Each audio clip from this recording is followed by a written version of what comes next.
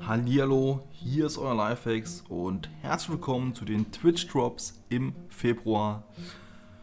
Das ganze Event ist in zwei Phasen geteilt und nennt sich Luna Festival. Und die erste Phase beginnt am 17.02. um 13 Uhr und endet am 20.02. um 13 Uhr. Hier eine Übersicht, was es alles zu gewinnen gibt. Und ihr seht schon, ja, es geht wieder Richtung Twin Twitch Skins. Also es gibt eine neue Skin-Rüstung von Twitch Drops. Und Phase 2 beginnt am 20.02. 13 Uhr, quasi direkter Übergang und endet am 23.02. 13 Uhr. Hier ein Überblick für die Gewinner der zweiten Phase.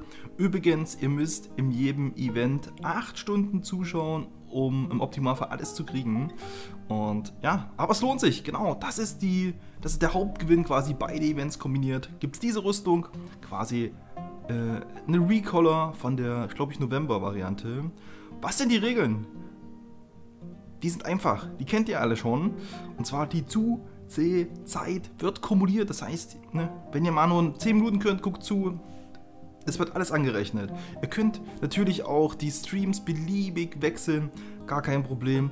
Ne? Ihr müsst nicht nur auf einem Streamer hängen. Ihr könnt bloß aber nur einer mit angerechnet. Und die Drops müssen abgeholt werden. Denkt an das Twitch-Drop-Inventar. Hier nochmal der Hinweis. Verknüpft euren Account, please.